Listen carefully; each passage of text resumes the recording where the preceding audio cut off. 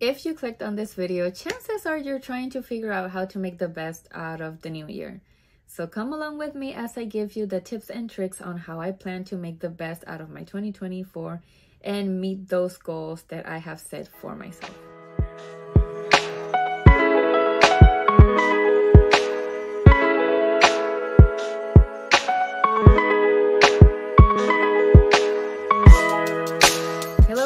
Welcome back. Happy New Year. I hope you had an amazing holiday season. For those of you who don't know me, my name is Lixcy and this is Lixcy et al.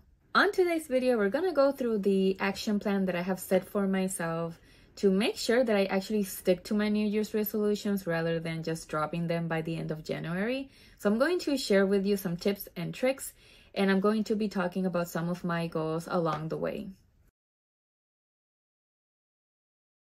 My first tip to ensure that you actually get your goals completed this year is to choose a handful of goals. With the excitement of the new year, we often make enormous list with all the goals and resolutions of things that we want to achieve throughout the year. The problem with that is that it's too much and life happens. We have responsibilities, we have time sensitive things that we need to get done, we have unexpected things that end up happening throughout the year. And when life starts going back into its regular rhythm, we're just busy. So if we have too many goals, it's not realistic for us to think that we're going to achieve every single one of them because we have other things that we have to do. And the problem is that because we don't see ourselves making progress in a lot of these goals, we end up unmotivated, which leads us to dropping the goals that we actually wanted to work on because it just becomes like too much. It becomes a burden rather than something exciting to look forward to. When we focus on a smaller amount of goals, that actually helps us because we have a very clear idea of what it is that we want to do. We can focus on those specific things. And the beauty of that is that because we're focusing on smaller things and making them work with our schedules, we end up becoming a creature of habit. Once we have that goal, whatever it is, into our daily routine or schedule, depending on how that fits in, we actually end up having the ability to add on more goals later on because we master those very few ones in the beginning. So I would suggest maybe having five, six at most that are very clear, very specific, and that you can turn into tangible steps. This brings me to my second tip, which is grab your goals and then divide them into smaller, manageable, doable steps. Oftentimes, we look at our goals and we've been having probably the same goal for years and years and years, and we're just confused as to why this is not happening. Why am I not achieving X or Y goal? Well, probably because we're not taking actions towards that goal. The way to do this is by breaking it down into steps and thinking, what can I do right now that will bring me a little bit closer to that goal? Maybe you have a really, really big goal of, I don't know, buying a house. But buying a house on itself is a difficult thing. So, one way that you could get closer to that goal is by, for example, opening a savings account only for that purpose.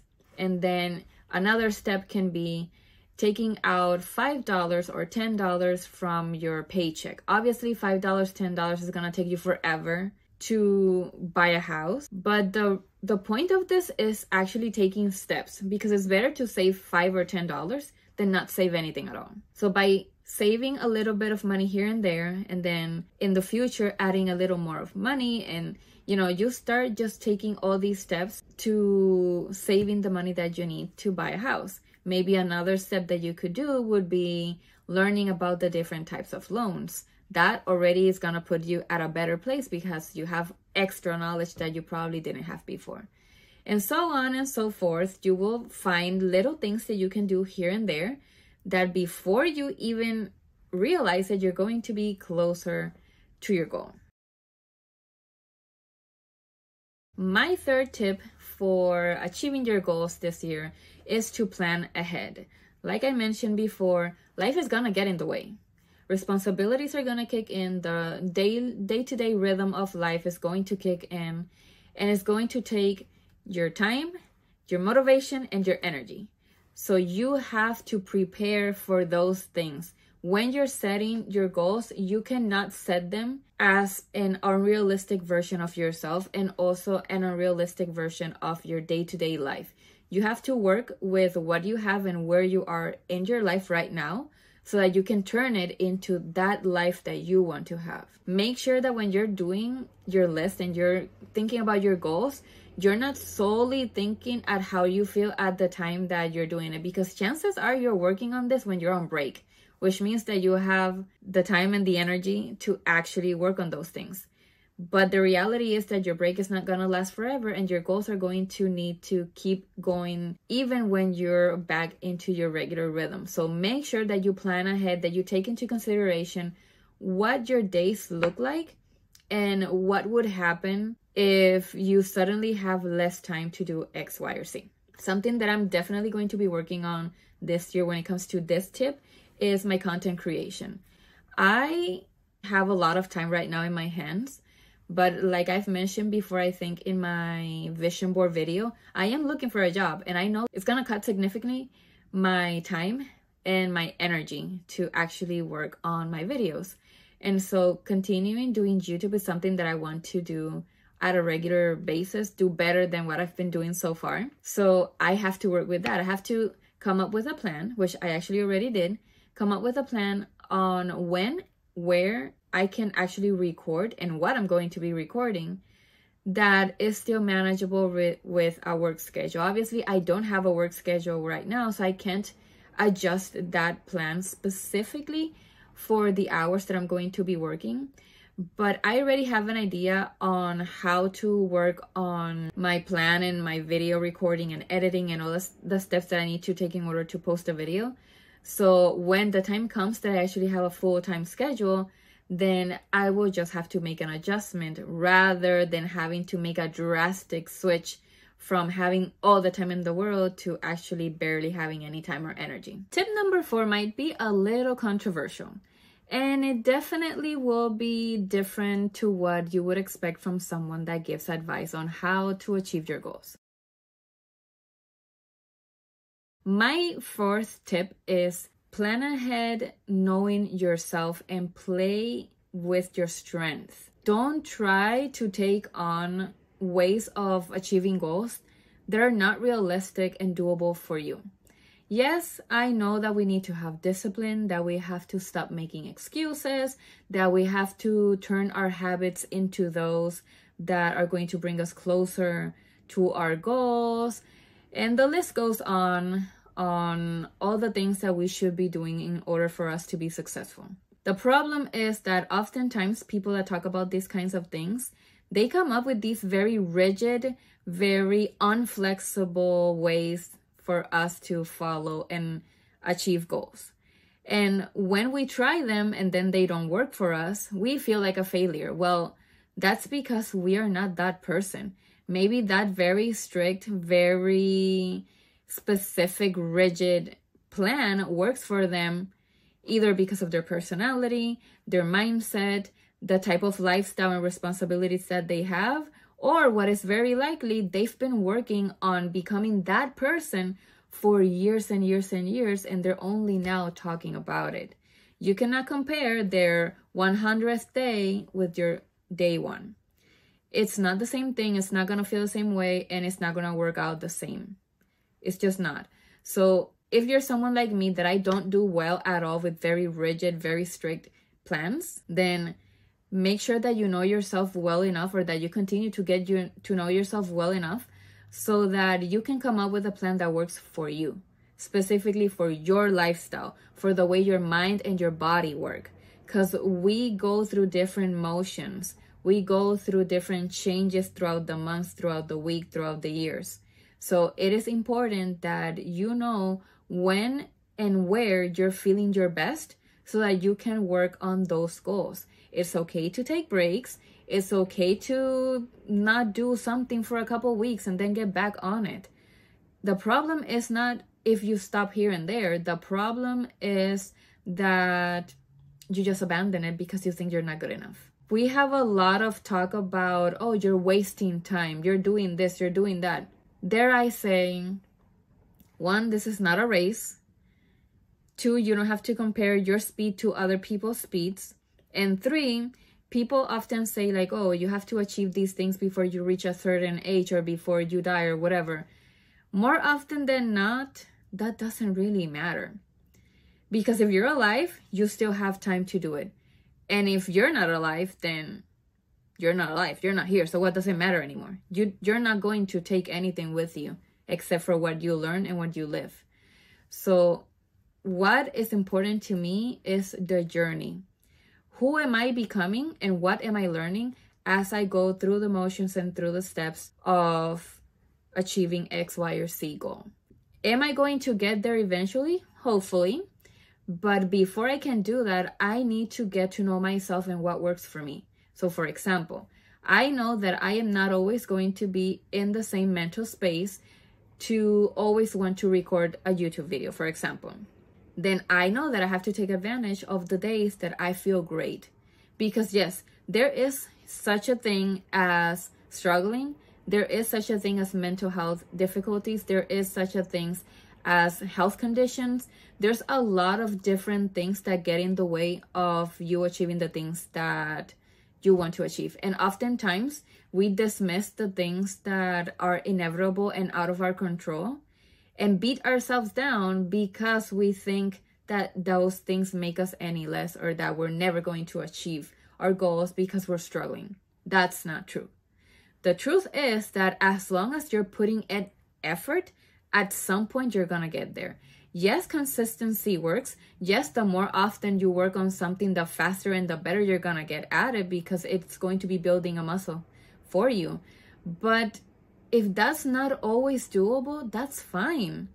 You're going to continue learning about yourself and what works for you as you continue going. So, the plan that you make for yourself right now, based on the information that you know about yourself right now, might not be the same plan that you're going to have in the next six months, maybe to a year from now. So make sure to always do what works for you. Yes, you can take advice from anyone that you want, you can look up to anyone that you want, but pick and choose what tips and tricks work for you. Even this video that I'm making, yeah, I'm giving you tips, but these are the tips that work for me. So it's your responsibility and it's your goal, I guess, for you to actually see if these things are going to work for you. Maybe they don't. Maybe none of these work for you. Well, you have the opportunity of choosing what actually works for you because it's your life. And that is the beauty of it. You get to customize it and work on it the way that you want. I know some people don't believe in that and they say that this is kind of lazy. But the reality is that you actually have to want to get there. If you're being miserable in the process, you're just gonna drop out and not do anything. My fifth and final tip is don't go at it alone. And that doesn't mean that you need to have this whole team of people that are working towards the specific exact same thing that you are. It can just be a best friend or a parent, a cousin, someone that you can talk about the things that you're trying to achieve and that can keep you motivated. It can be someone that can hold you accountable, someone that can give you advice, someone that can give you a fresh perspective when you're trying to work towards your goals. It can even be an online community. I know there's a lot of groups online that focus on giving support to each other so we can work on things. They share knowledge, they share tips, they share tools. Even finding someone on YouTube that is doing something that you want to do and watching their videos often, that can be very helpful. But I definitely believe that you should have someone that you can talk to directly and that can help you overcome any sort of issue or hurdle you get in the process. So definitely, definitely try to find your support team, your go-to person that you talk to. And it doesn't even have to be someone that you talk to all the time. It can be someone that you talk to maybe once a month and you give updates to or someone that you talk about whenever you have a chance. Maybe it's just your best friend that you talk to every day, but you just touch on the topic that is related to your goal here and there. The important thing is having that support because having someone there that believes in you and that supports you and that gives you ideas is going to make it easier and you won't feel so alone while you work on your goals. Those are all the tips that I have for how we can work on our goals and achieve them this new year. I'm now going to go through the goals that I have that I already kind of mentioned them, but I want to go more in depth and give you a bit more detail on what I'm thinking on how I'm going to be trying to achieve them. So it's five goals, like I mentioned, only do a handful. Don't go crazy making really long list. So my first goal is being consistent with YouTube. I say this a lot. I feel like this is one of the goals that I often struggle with the most. And so I want to continue working on getting to know myself and what works for me so that I can actually show up on YouTube better.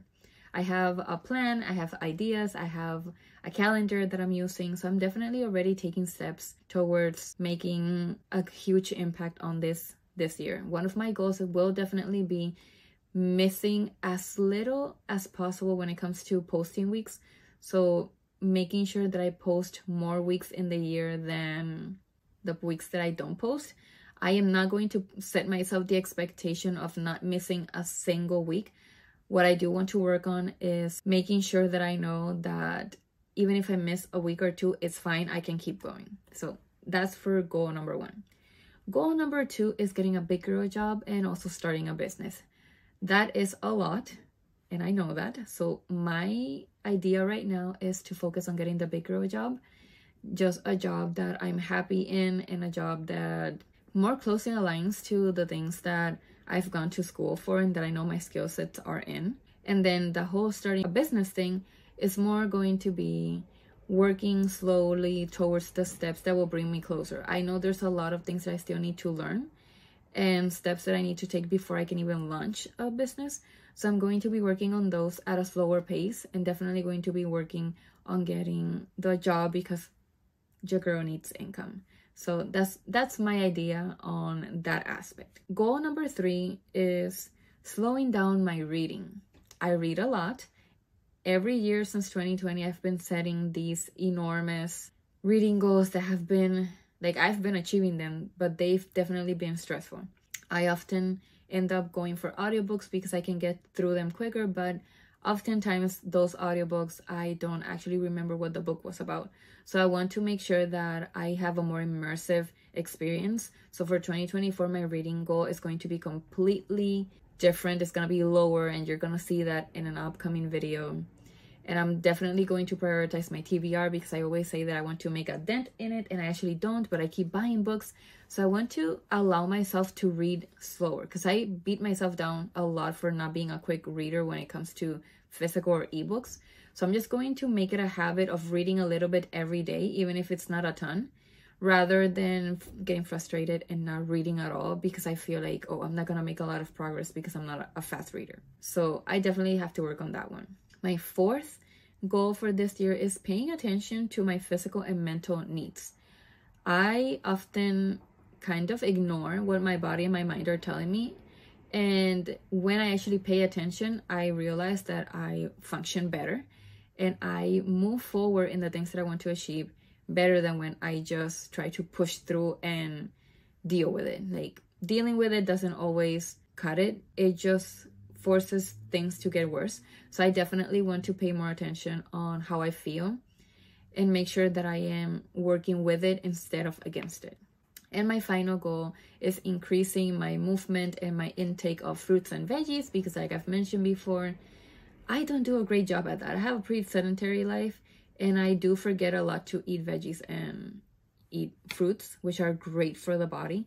So I'm definitely going to find fun ways that I will feel more inclined to actually do those things because I definitely struggle with actually doing them mostly because they feel like a burden. And so for the movement aspect, I'm probably going to start trying to go out more, even if it's just walking around the neighborhood and also playing Just Dance because I love Just Dance. So if I love what I'm doing, I'm more likely to do it. This is what I mean. I'm not going to go like, oh, I'm going to go to a gym and I'm going to start this exercise routine because that's just not going to work for me. I don't like it. If I don't like it, I'm not going to do it. It's going to feel like a burden. I'm just going to quit. So I have to do it in a way that I feel happy and that I'm having fun. Then, when I feel better, I'll work my way all up to having an exercise routine. But as of right now, I have to work with myself instead of against myself. Same with the with the fruits and veggies thing.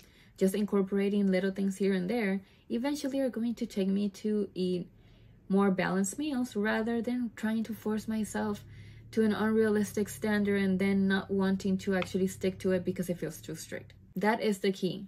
Working with yourself, not against yourself. So that is all I have for today's video. Thank you so much for watching. Make sure to subscribe if you haven't done so yet and click the notification bell so that you know whenever I upload a new video. Also remember to follow me on Threads, Instagram, and TikTok as Lixcy et al. And thank you so much. I will catch you on the next one. Bye.